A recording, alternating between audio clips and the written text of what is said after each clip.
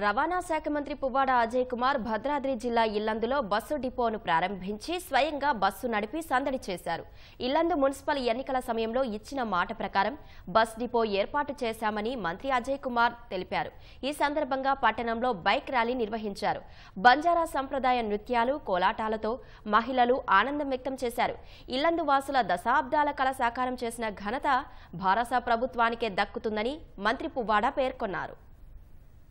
Yellandu municipal ఎన్నికల సమయంలో నేను ఇక్కడ జిల్లా మంత్రిగా వచ్చి ఈ మున్సిపాలిటీని గెలిపించాలని చెప్పి